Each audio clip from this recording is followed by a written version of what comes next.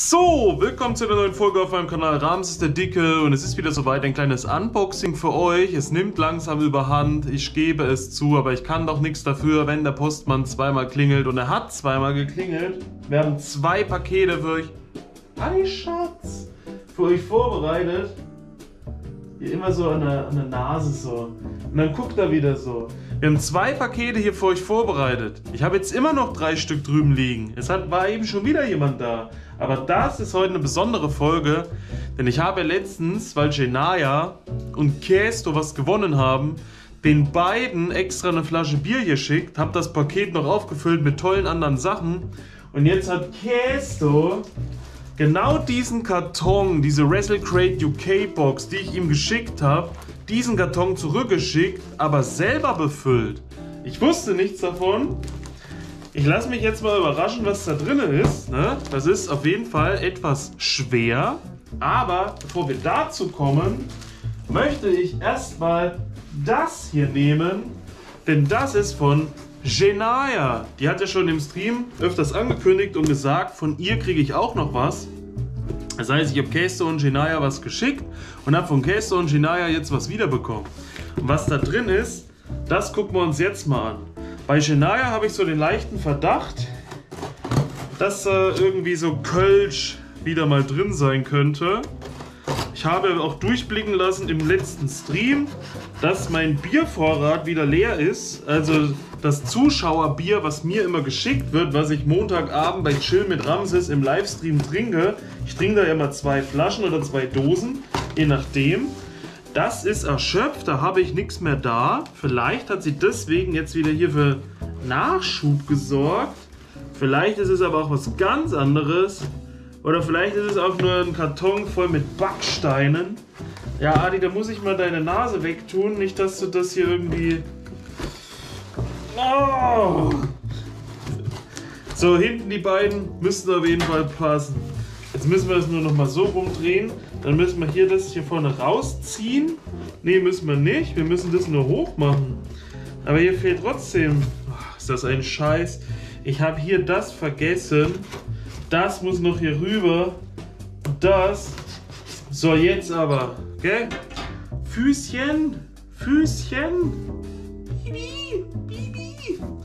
Leg dich doch wieder hin. Alles entspannt. Alles gut. Ich habe gar nichts gemacht.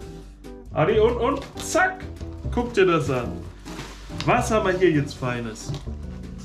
Wir haben einmal ein 5er Back Milka Schokolade, ne?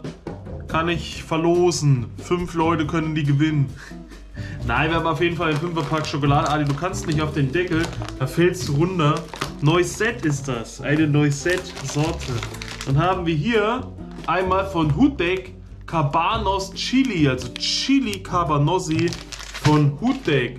Sehr schön, da kann ich wieder Dosen abgeben in den Rewe rein und kann mir dann einfach von dem Pfand einen Brötchen kaufen und kann zu diesem einen Brötchen gemütlich diese Cabanossi essen. Dann haben wir hier Hand-Cooked Potato Chips von Catlet Chips, Sweet Chili und Schuhcreme, Sucreme. Das finde ich genial. Ich mag zwar keine dünnen Chips, die müssen geriffelt sein oder Tortillas oder wie auch immer, aber diese Sorte Sweet Chili und zusätzlich auch noch Sucreme, also Sour Cream, also Schuhcreme.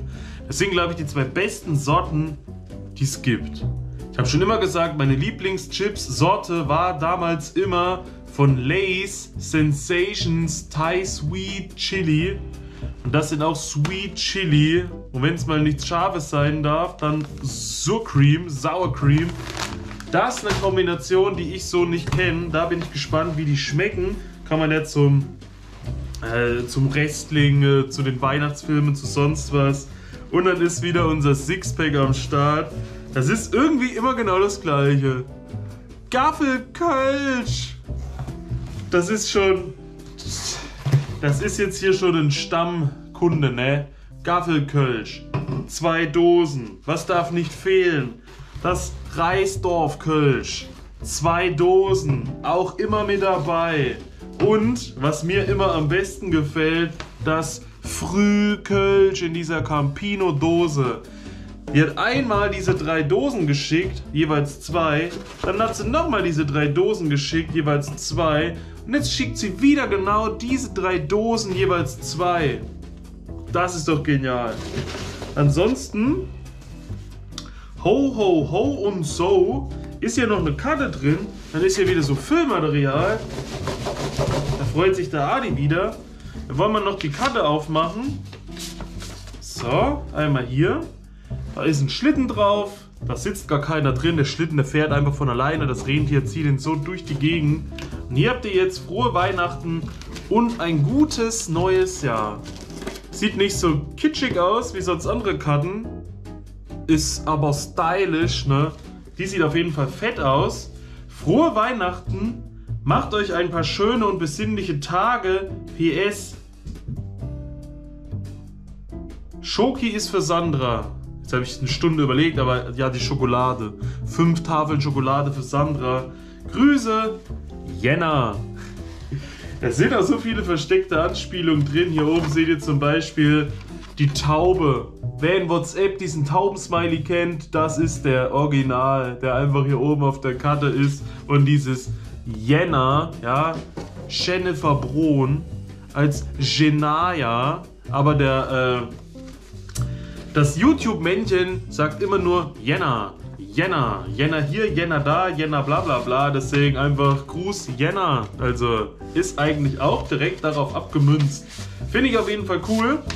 Werde ich mir aufheben. Ich wollte eh so eine Box anfertigen, wo ich immer, wenn mir jemand was schickt und da irgendwie eine Nachricht oder ein Brief oder ein Zettel dabei ist, manche schreiben mir kurz gekriegselt irgendeine Notiz irgendwo hin, dass man sowas aufhebt und mal rein. Da kann man da immer reingucken in die Schatztruhe, wer einem alles was geschickt hat. Wenn es einem schlecht geht, sieht man daran immer, dass, dass man gar nicht so behindert ist, ja, wie man sich immer fühlt. Das lege ich jetzt aber zur Seite.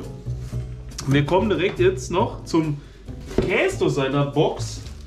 Die, ja, puh, wie geht die jetzt wieder auf? Da habe ich ja schon ein Problem, wenn die diese original schicken. Jetzt ist das hier anders zu. Anders zugemacht. Eigentlich musst du dir nur aufklappen. Das heißt, es muss. Es ist nur die falsche Seite, ja. Ach, ist das bekloppt. Du musst eigentlich hier das aufschlitzen. Ich hoffe, ich bin richtig. Ich bin wahrscheinlich nicht richtig. Hä, es ist doch auf dem Kopf. Es ist doch auf dem Kopf. Aber hier geht es doch gar nicht hoch. Du musst doch dieses Stück... Ich habe hier keinen Durchblick. Ich muss mal... Ich, ach, hier vorne. Hier vorne gehst du rein. Das ist das, was hochgeklappt wird. Du musst also dich hier irgendwo am Rand am Rand durchkratzen, am anderen Rand. Ja, jetzt bist du in den Karton reingefallen, Adi. Da konnte ich ja jetzt nur auch nichts dazu. So, jetzt. Jetzt haben wir es da. Jetzt können wir es aufmachen. Adi ist in den Karton gefallen und versucht jetzt da das Zeug rauszubühlen. Adi, du hättest ja auch hier oben sein können, dann hättest du mehr gesehen statt jetzt so einen Stress zu machen. So, wir machen das jetzt hier auf. Wir haben jetzt hier, oh mein Gott, wir haben jetzt hier ein Karton auch wieder voll mit bunten, lustigen Sachen. Hier habt ihr gleich mal eine Karte oder beziehungsweise ein Zettelchen dabei. Wir wünschen euch ein wunderschönes Weihnachtsfest. Lasst es euch schmecken, ihr Lieben. Dein Kästo und Suplex Soul und die Wauzis Knutschi. Also sowas kann man dann aufheben, kann sich immer, immer irgendwo äh, in so eine Box reintun. Am besten so eine Wrestle Crate UK Box, weil die sind viel zu schade, um die wegzuwerfen. Was mir direkt als erstes hier ins Auge sticht, ist diese Faxe-Dose. 10% Faxe Bier.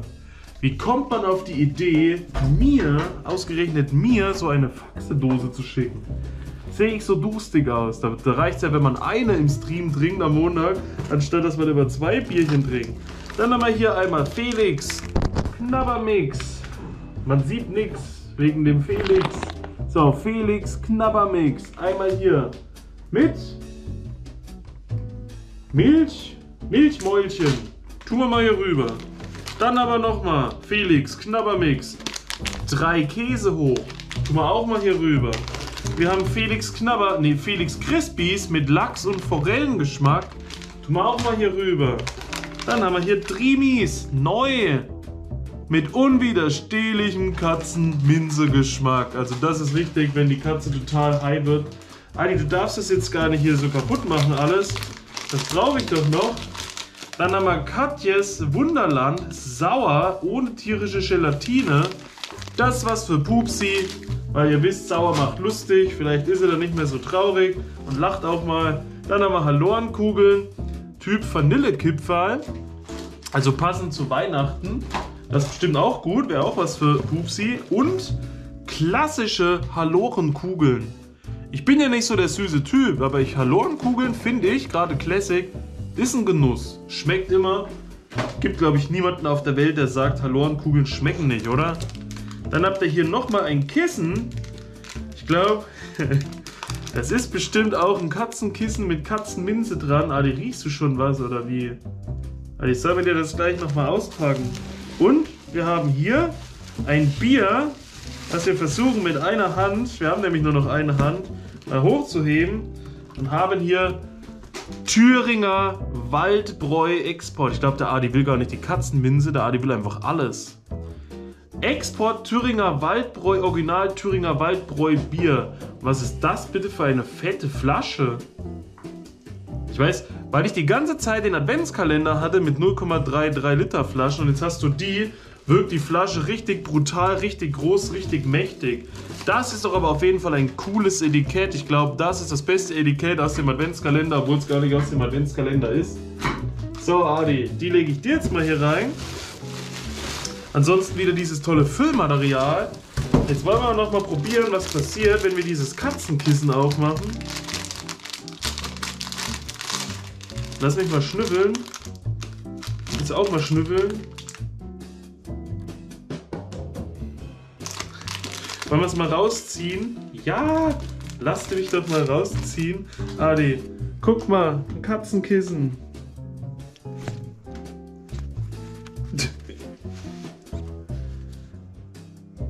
Der Adi dreht gleich durch, der hat jetzt schon reingebissen und wollte es durch die Gegend zerren. Ja, du musst, nimm's mal in den Mund. Ich komme doch da nicht hin. Oder, Adi, pass auf, wir legen es mal in die Wanne. Hier kannst du in der Wanne rumhüpfen damit. Was ist denn jetzt? Tu dir keinen Zwang an.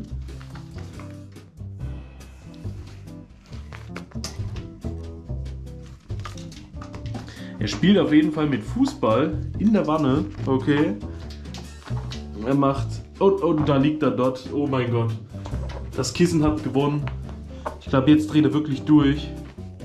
Jetzt Jetzt schlägt die Katzenminse zu. Seht ihr das? Wie er sich da dran, wie er sich da dran reibt und wie er da rein und sich da reinkuschelt und ah, oh mein Gott, gib mir so noch ein Kissen. Ja, Mann. Egal, ich glaube, heute kannst du gut schlafen, oder? So, wolltet ihr ihn jetzt noch ein bisschen beobachten? Ich weiß es nicht. Ich glaube, das war es gleich von meiner Seite aus. Wir sehen uns beim nächsten Mal. Bis dahin. Peace out. Vorhaut.